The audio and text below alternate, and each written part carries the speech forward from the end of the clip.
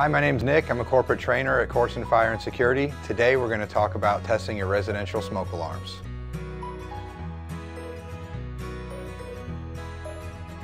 Most manufacturers recommend checking your smoke alarms weekly by using the onboard test button.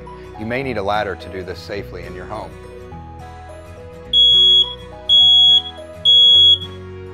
If pushing the button doesn't sound the alarm, it's a good idea to replace your battery and rerun the test. Another good reminder is to change your batteries every six months. A good time to do this is when you change your clocks for daylight savings time.